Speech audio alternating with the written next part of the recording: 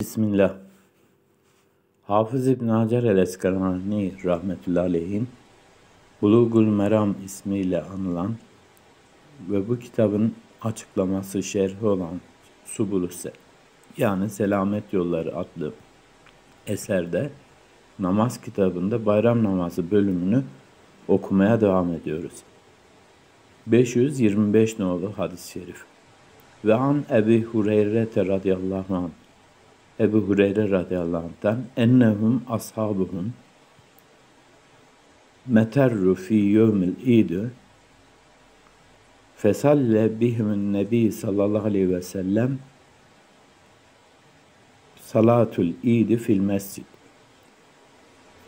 Ashabının üzerine yağmur yağdığı bir bayram gününde Nebi sallallahu aleyhi ve sellem namazı bayram namazını mescitte kıldı. Revahu Ebu Davud bi isnadi leyin. Ebu Davud bunu gevşek bir isnat ile senetle nakletti. 525 nolu hadis-i şerif tekrar okuyorum. Ebu Hureyre radıyallahu anh'tan rivayet edildiğine göre kendilerini bir bayram günü yağmur tutmuş ve bunun üzerine Peygamber sallallahu aleyhi ve sellem bayram namazını mescitte kıldırmıştır. Bu hadisi Ebu Davud gevşek bir isnatla rivayet etmiştir. Çünkü isnadında meçhul bir adam vardır. Ayrıca hadisi İbn Mace ve Hakim de zayıf bir isnatla rivayet etmiştir. Bayram namazını e, ovada mı yoksa mescitte mi kılmak eftal olduğu hakkında ihtilaf vardır.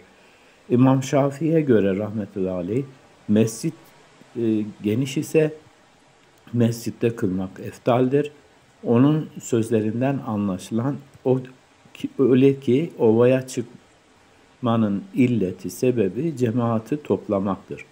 Bu iş için mescitte e, hasıl oluyorsa yani mescit geniş ve insanlar için bu genişlik yeterli oluyorsa o zaman mescitte kılmak eftal olur.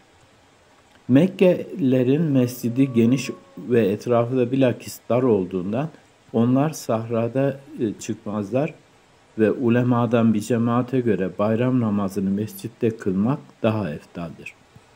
Hanefilere ve Malikilere göre ise mescit geniş bile olsa ovaya çıkmak eftaldir.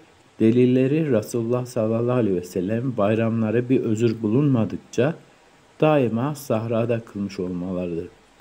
Resul-i Ekrem sallallahu aleyhi ve sellem elbette eftal olanı e, tercih ederdi. Hazreti Ali radıyallahu anh dahi bayram namazını kılmak üzere sahraya çıkmış ve bu sünnet olmasaydı mescitte kılardım demiştir. Sonra cemaatin zayıf e, takımına bayram namazını kıldırmak için mescide bir vekil bırakmıştır.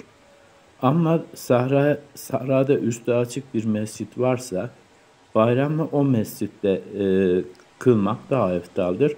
Tavanlı ise mesele, mesele yine ihtilaflıdır.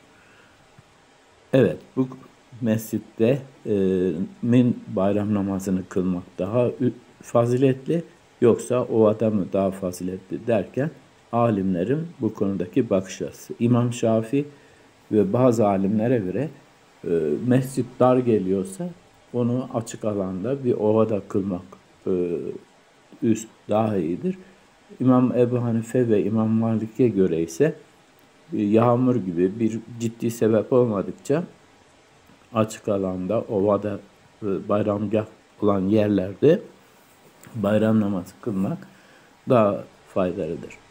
Konunun sonunda bir fayda adlı bölüm oluşturmuş ve bayramlarla ilgili şunları yazmış. Hafız İbni Hacer el-Eskalani rahmetullahi bayram günlerinde en güzel şekilde giyinmek, en güzel kokuları sürünmek ve kurban bayramında e, bulabildiği en semiz, en güzel hayvanı kurban etmek müstehaptır. Yani daha sevaptır. Bu bapta hakim Hasan'dan şu hadisi tahriş etmiştir.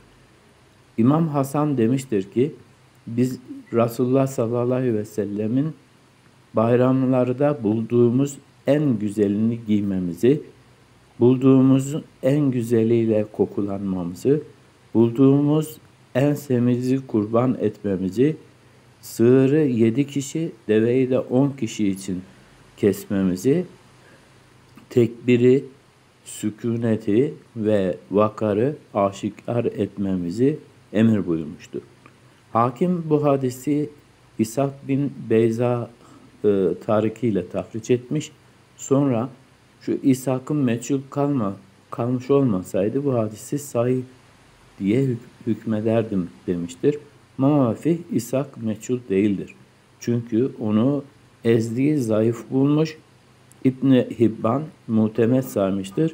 Bu suretle o meçhul olmaktan kurtulmuştur. Teşrik tekbirleri hakkında vazih çok açık bir hadis yoktur. Bu sebeple onları e, zi- zikretmiyorum demiş Hafız İbni Hacer Hazretleri. Evet. Bayram namazıyla ilgili hadisleri de bu şekilde okumuş olduk. Bu bab, bu bölüm başlığı bitmiş oldu. Allah'a emanet olun.